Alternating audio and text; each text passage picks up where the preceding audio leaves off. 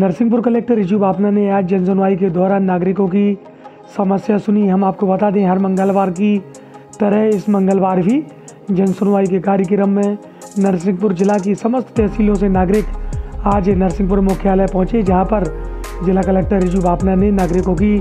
समस्याएं जनसुनवाई में सुनी और निराकरण का भरोसा दिलाया